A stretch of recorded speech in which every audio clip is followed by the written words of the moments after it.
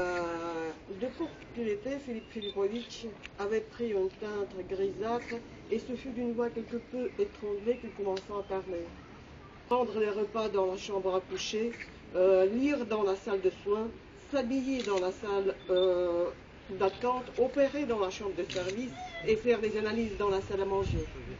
Il est très possible qu'Ici de fasse ainsi et s'habille peut-être dans son cabinet particulier et dissèque des lapins dans la salle de bain. Peut-être. Mais je ne suis pas Isidore Radulcan. Il poussa soudain un rugissement et vira du rouge au jaune. Je continuerai à manger dans la salle à manger et à opérer dans la salle d'opération. Transmettez ceci à l'Assemblée générale. Et je vous prie très humblement de retourner à vos affaires et de me laisser la possibilité de prendre mes repas là où les prennent les gens normaux, c'est-à-dire dans la salle à manger, et pas dans l'entrée ou dans la chambre des enfants.